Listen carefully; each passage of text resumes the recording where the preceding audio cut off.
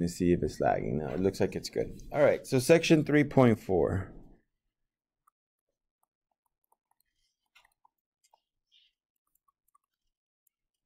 Now, I don't know if there's going to be A or not, like if there's going to be an AB, but uh, we'll see. So this is called concavity.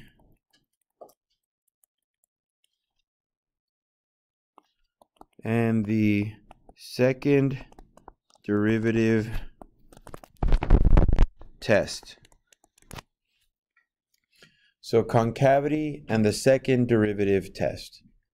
Now here's the nice thing about concavity. It's basically just another derivative. We're just going to take a derivative again. Okay, you know how to do this already. I'm taking a derivative, so we're just going to do it again. And after you do it again, you're still going to solve for it uh, by setting it equal to zero or making it undefined. Find those numbers. You're still going to make a sign graph. You're still going to check for positive and negatives. But the only difference is when you do the second derivative and you do all the work you're used to doing already, um, those pluses and minuses do not mean increasing or decreasing. The only difference is that a minus means that it's concave down, a plus means that it's concave up. And that's it. That's the only difference. Okay, definition. All right. Uh, remember, I told you guys we take almost half a year talking about um, derivatives, and the other half year talking about the antiderivative, the integral, right? Because derivatives have so many uses, they do so many things. So um, a derivative can mean slopes, it can mean rates of change, it can mean increasing, decreasing, concavity, like I said right here, related rates, it can mean optimization, it can mean a whole bunch of stuff. So you have to kind of learn the de definitions for it. So anyway, uh, like I said, we, we're going to talk about concavity. Now, um, if you're not sure what concavity is, uh, I'll draw you a, a quick little picture here. Anything that's concave up or concave down. Now, you guys actually see concavity every time you go to a movie theater. You guys ever notice how the screens are kind of like bowed? Right? That's concave. Okay, that's that's a concavity right there. So, um, concave up means that the graph will look like this. Okay, concave down means the graph will look like this. That's all it basically means. Okay, so that's the only like difference. Literally, that's the only difference of what you're doing, and you're just gonna apply that to those skeleton curves that I refer to, right? Those those uh those sign graphs that we do at first. You're gonna try to figure out, okay, this is what it looks like. So here's how you do the test for concavity. Okay, so this is a theorem, and then we'll get into some uh, some examples. So theorem 3.7, test for concavity. So it says let f be a function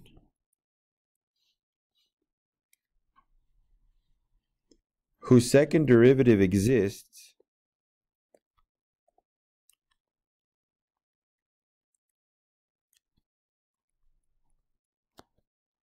on uh, an open interval i.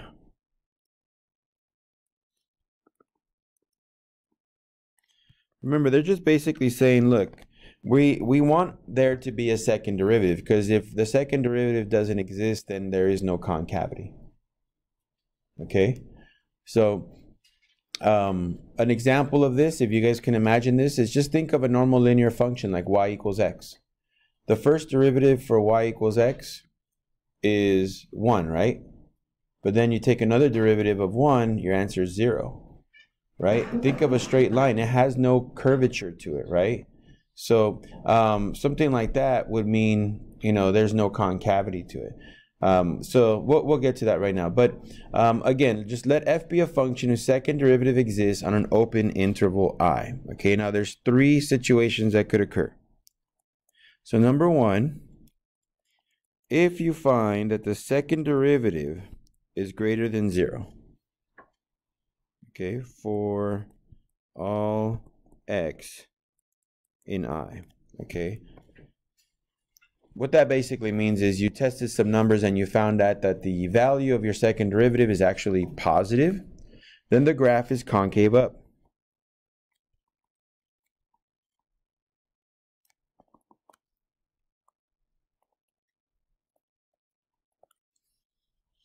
Okay, if the second derivative is less than 0,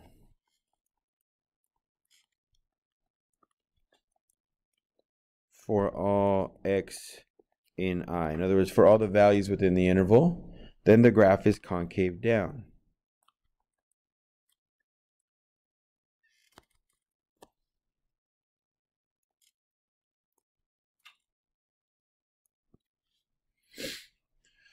So if your second derivative values, not your actual second derivative, okay, so because your second derivative is going to look like an expression, right? It's, it's going to be a function. But if you start plugging into that function any numbers and you start saying like, oh, at this number it's positive, so right there it's going to have upward concavity. Uh, as you're plugging in numbers uh, and find that it's less than zero, okay, you're plugging in things and you're finding out that the answers are negative, then you're going to say it's concave down. Okay, uh, if your second derivative is equal to zero, okay, then the graph is linear.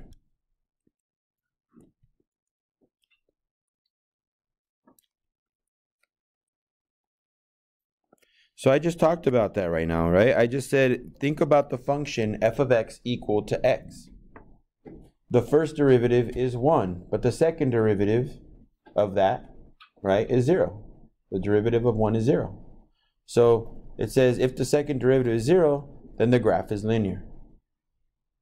Okay, so that's how you know whether or not a graph is going to be a straight line. I mean, you should know that before. If you see a, a function like uh, f of x equals to x minus 7, then you should know it's a line. Uh, but if you didn't, uh, for some reason, then um, uh, you could figure it out by taking two derivatives, okay? Um, just a real quick note for us here. A straight line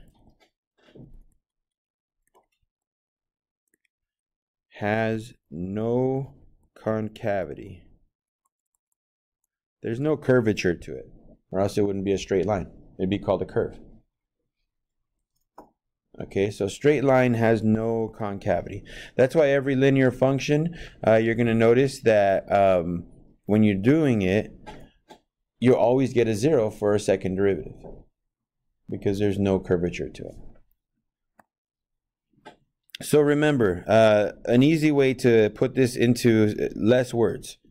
You're going to take two derivatives, and then you're going to you're going to make a sign graph for the second derivative, okay? And if the values that you plug in come out positive, then it's concave up. If they're negative, it's concave down. If it's zero, then the function's linear. Okay? So let me show you how we're going to do this. So example number one. Um, we're going to determine where f of x equal to x cubed minus 2x uh, a is increasing or decreasing and B is concave up or down. Okay, now notice uh, to figure out where it's increasing or decreasing, concave up or down, I'm just going to basically, I, I see that my goal is to get to a second derivative, so that's what I'm going to do. I'm going to do all my work all the way through before I answer any of these questions. So f of x is x cubed minus 2x. Now I know I got to go all the way up to a second derivative because they're talking about concavity. So let's just do the first derivative here. F prime of x, that's 3x squared minus 2. Okay? So there's my first derivative. I can't factor anything from it, so I'm not going to do anything like that. Um, but I can take my second derivative now, f double prime of x. So 3x squared will become a 6x. And then minus 2, well, that becomes a 0. So there's my second derivative. Okay? So I just I just took both derivatives at once. Okay, now let's go ahead and figure out my critical numbers for my first derivative. So 3x squared minus 2 equals 0. That means 3x squared equals 2, or x squared equals 2 thirds, or x is equal to plus or minus radical 2 thirds. Now, I'm going to do the same thing for my second derivative because in order to find out where it's concave up or down, I got to check for positive and negative values, right? So let's set 6x equal to 0. That means x equals 0. Now, this is two separate pieces of work. So I'm going to do my sign graphs separately. They're not all being done at the same time, okay? So let's do my first derivative sign graph.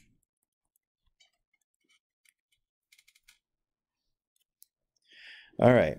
So I know I need to have one at negative radical 2 thirds and one at positive radical 2 thirds.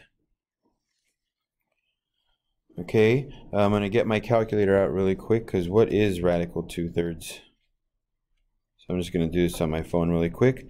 But um, let's see. Square root 2 thirds is a 0.816, so uh, 0.8. So that means that I can use uh, a 1 that would be bigger than it, okay? So um, a 1 is going to be over here, right? I'm just going to write it in highlighter. I'll get rid of it. I'll test a 0 in here, and then I'll test a negative 1 over there. Okay, those are going to be the numbers I'm going to test. I'm going to erase them because I don't want them to be there, but I just want you guys to know those are the ones I'm going to try out, okay? So I will show the work over here on the side, like scratch work like we did last time. Okay, so here we go. f prime of negative 1.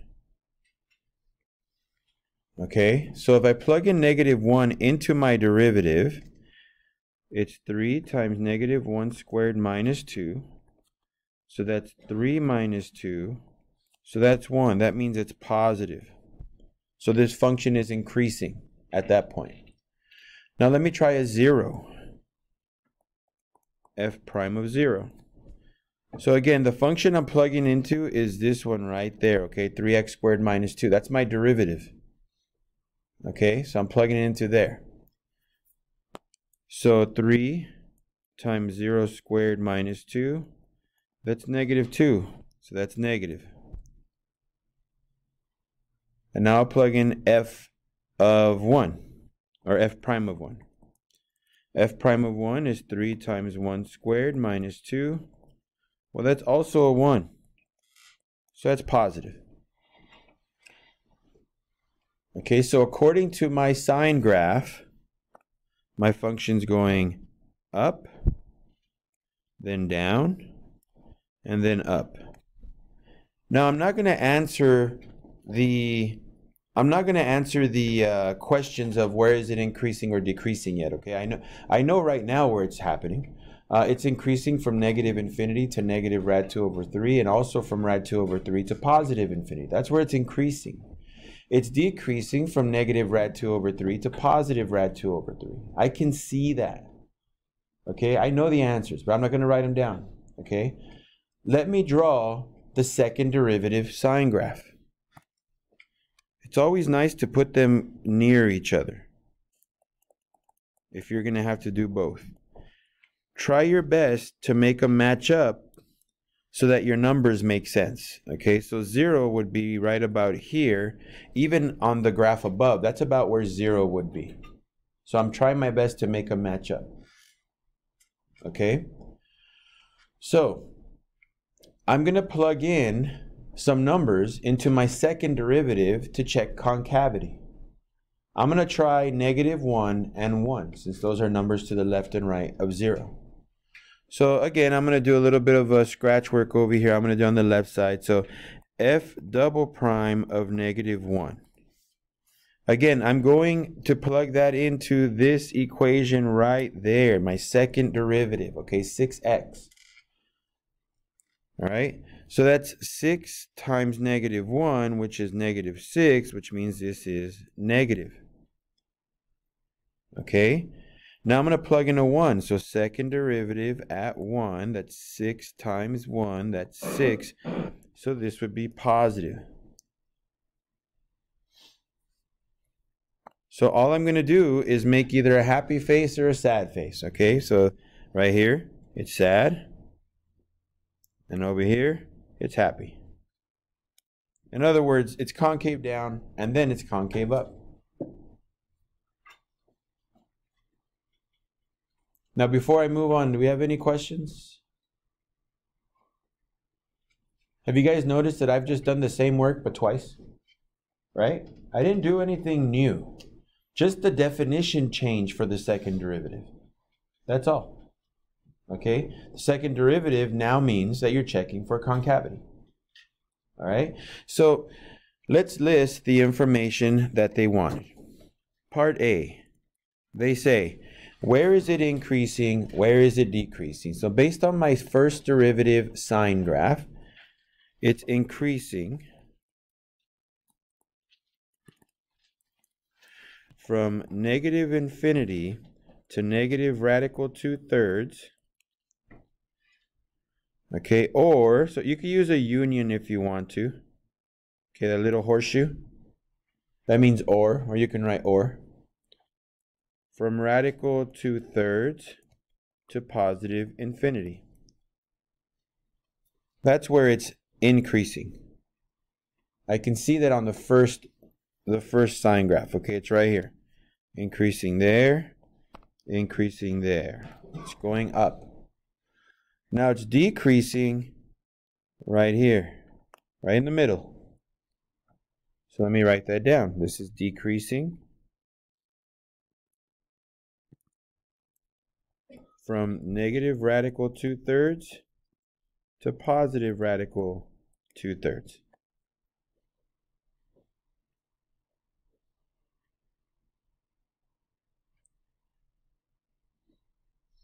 Any questions on that part? And you're just using your drawings, okay? You don't have to do anything special. Just hopefully your drawings are correct so that you can answer these questions fairly simply. They're not going to take a long time to do. Part B, we're just using the second picture. It says, where is it concave up? Well, it's concave up when it's smiling, right? So it's going to be from 0 to positive infinity. Okay? And then it's going to be concave down.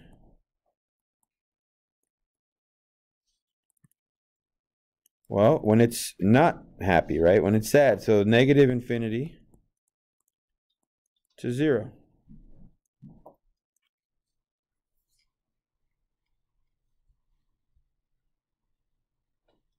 Now, if I were to graph this thing, okay, based on my skeleton graph, so right now I'm going to kind of mess with this function, so don't do this on yours, okay? Um, but let me just do this really quick. If I had to graph what this kind of looks like based on my skeleton graph only and my concavity stuff, I know that my zero is somewhere around here, right? So that means that this graph should look like this. Now, why do I know it curves that way? Well, because it tells me that up until zero, this thing should be looping downwards, right? So you can see that I'm going up and then back down up to zero, but I'm looping downwards, so that's concave down. And then it says after zero, this graph should now loop upwards. So then I'm going to follow my skeleton graph and do this. And if you were to graph this function, I'm pretty sure it's going to look something like that. Okay, where is it exactly? What points? Well, I don't know yet. I haven't done that calculation, but but I can tell you that it's going to look similar to what I did right there with the green highlighter. Okay, just based on those two little pictures that I drew, I can give you a really good sketch. Now, as to being precise, that's a whole different story. At that point, I'd have to plug in zero into my function because I want to figure out where the point zero is. I'd have to plug in radical two thirds into my my function and negative radical two thirds into my original function. So I can find actual coordinates of where these high points and low points are occurring. So then I can draw a nice sketch.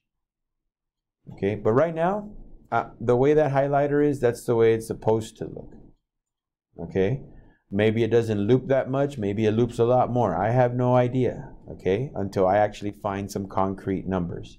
But for now, that's what my, my uh, two little sketches help me do, my sign graphs. Okay, any questions on this? Anything uh, didn't make sense? And I do want to repeat to you guys, we are doing the same thing just twice. Okay? And we're changing the definition of sec uh, of the derivative, the second derivative from from increasing decreasing to concavity, either up or down. I didn't do anything different. The derivative rules don't change. The uh, product rule doesn't become different. The the quotient rule doesn't become different. The chain rule doesn't change, right? Uh, it's all the same. Everything is identical to what you've learned so far.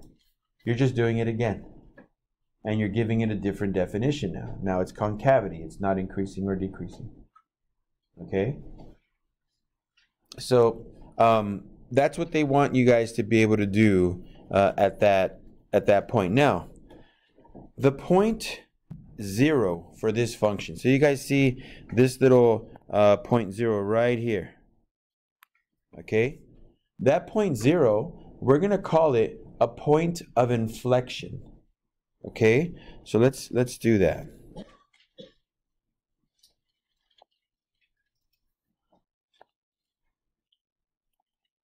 So a point of inflection. Now remember how I told you guys that all we're doing is changing definitions, right? So when you take your first derivative, so let's look back up here again. I'll try to keep that word uh, visible to you guys. But when we did our first derivative, we noticed that the signs go from uh, plus to minus to plus. You guys see that, right? First derivative sign graph, plus, minus, plus. When that happens, these critical numbers, they graduate to being called what? Critical, instead of critical, yeah, critical points, right? And then we call them extrema, right? They get a different name.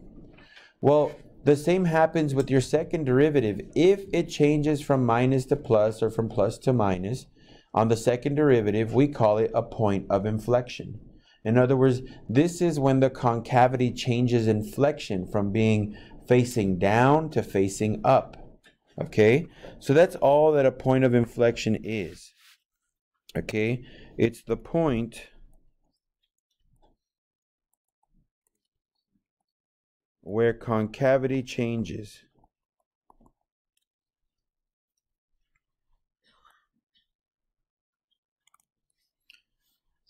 Okay, so it's the point where concavity changes. Now there's a theorem for this. So theorem 3, 8. And this theorem might sound familiar. Let's see if you guys can tell me what it's kind of referring to. It says points of inflection.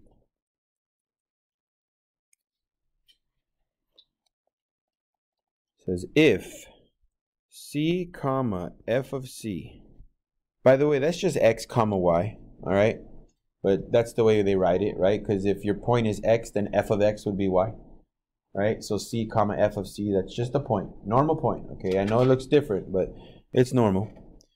So if this is a point of inflection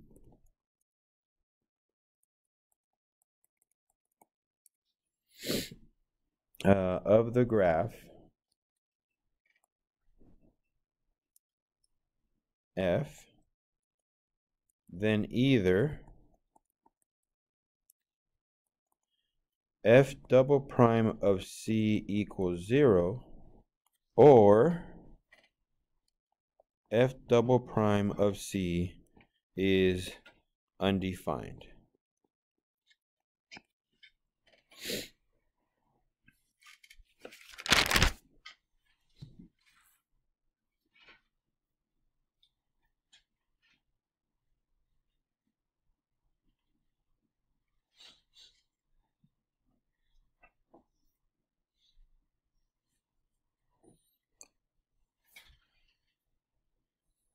So does this definition, does this theorem remind you of another theorem? To something we've already done? Critical what? Yeah, well, critical numbers or critical points, right? Critical points, the definition of a critical point was that their first derivative was equal to zero or the first derivative was undefined. So notice all I'm doing is saying, well, hey, same thing, just do another derivative. Again, I'm not changing main definitions. They're still the same, just that now we're saying, okay, this also applies to your second derivative too. And we're just going to call it, instead of a critical point, we're going to call it a point of inflection. Right? So this is what I've been kind of telling you over and over in this lesson. It's all the same thing. You're just doing it one more time. Right? And the definitions change, of course, right? We're not going to say it's increasing or decreasing twice. Um, so we call it a, a, concavity for the second derivative. And then we don't call it a critical point again. We call it a point of inflection, right? So that's the only thing. So let's do one more example here. Or we'll do like a really quick example and then we'll do one extra one, okay? So example number two. Find the point of inflection.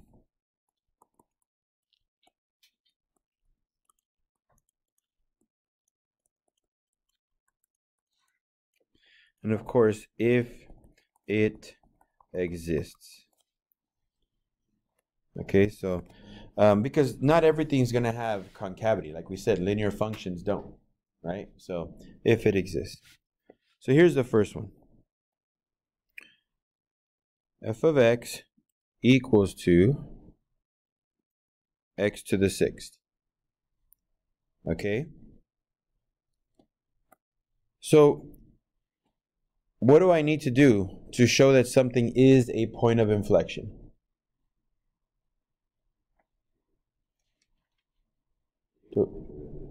Take the derivative twice. So let's do the first one. f prime of x is 6x to the fifth. Do I have to make a sign graph for this if all they want to know is a point of inflection?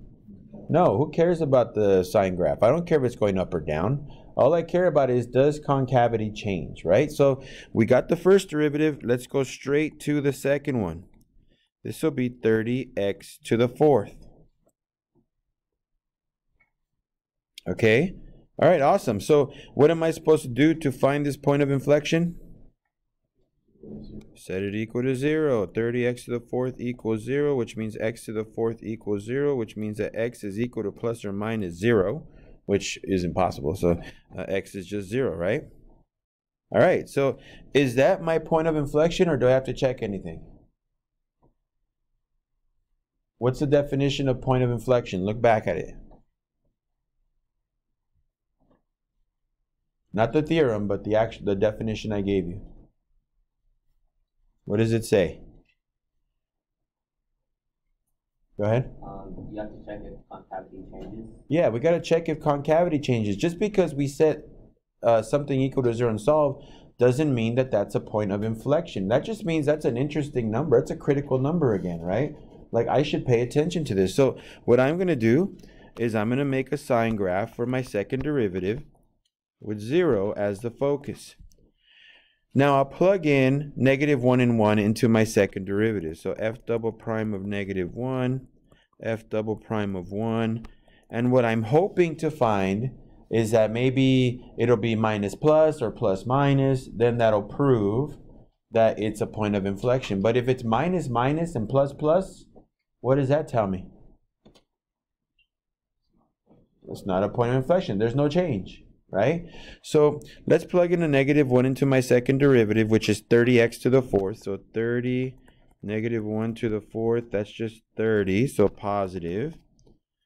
And 30 times 1 to the fourth is also just 30, so that's just positive. So does this have a point of inflection? No.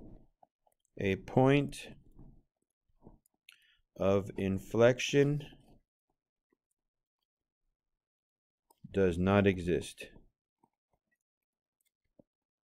for f of x.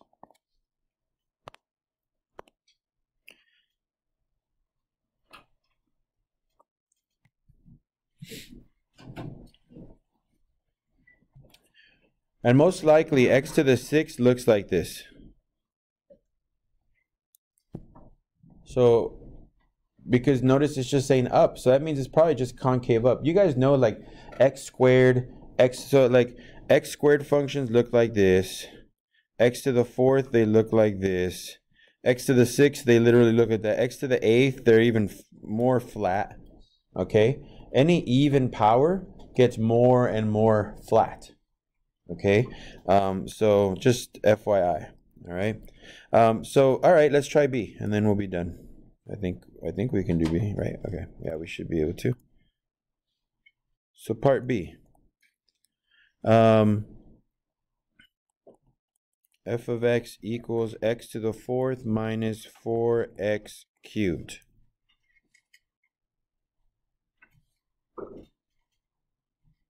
And then we'll do a second derivative test on Monday, uh, which is a really good one. Um, but uh, for now, we'll just stop here. So let's take our derivatives, right? And I got to do them just both at the same right away because I don't need to do is it going up, is it going down, increasing, decreasing. Who cares? I'm looking for points of inflection. Okay, so first derivative is important because I need to know what it is. It'd be 4x cubed minus 12x squared. But then, other than that, I don't need to solve for anything. If you want to, go ahead for extra practice, but you don't need to do anything with it. f double prime of x is equal to 12x squared minus 24x. So there's my second derivative. Now, I always factor because I'm going to have to solve for x. So um, there's my factored form, 12x times x minus 2. And I'm going to set that equal to 0. So that means that 12x is 0 or x minus 2 equals 0, right? So my two answers would be 0 and 2. But remember, that doesn't guarantee that these are points of inflection. That just tells me those are interesting points, right? Those are points of interest, right? That, that I'm going to kind of uh, test out and see. So I need my second derivative sign graph. Remember, this is not an actual sign graph. It's just a graph that we put symbols on, right? Plus and minus, so signs, S-I-G-N, right? Um, so um, what number should I plug in first to check? Give me one. Negative 1. F double prime of negative 1. So that's going into my second derivative. Um, I'm going to plug it into this one. By the way, I always recommend you plug your numbers into your um, factored form because sometimes it's easier to do it in your head with the factored ones. So um, 12 times negative 1 is negative, and then negative 1 minus 2 is negative. So they're both negative. So negative times a negative is a positive. So that's plus. Now what should I plug in? A 1, all right. F double prime of 1. So let's plug in a 1 into that factored form. 12 times 1, that's positive. 1 minus 2, that's negative. A positive times a negative, that's a negative. So is 0 a point of inflection? Yes, it is, right? What do I plug in next? 3, okay. And remember, you can plug in any number, 2.5, 2.01, whatever you want, but try sticking with integers, usually makes it easier. You plug in a 3, 12 times 3, that's positive. 3 minus 2, positive, so positive times positive is a positive. Is 2 a point of inflection? Yeah. So um, I'm going to put uh, for my answer the point of inflection are 0 comma and 2 comma. But I got to figure out what those points are right?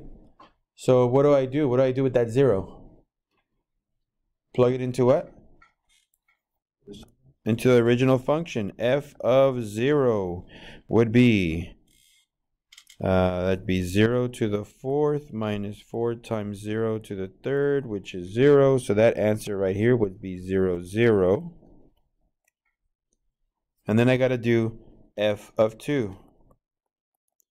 So 2 to the fourth minus 4 times 2 to the third. That's 16 minus 4 times 8. Is that right? Yeah, 8, right? Um, so that's going to be uh, 16 minus 32, which is negative 16. So I'm going to put that right there. And there you go. Here's my answer.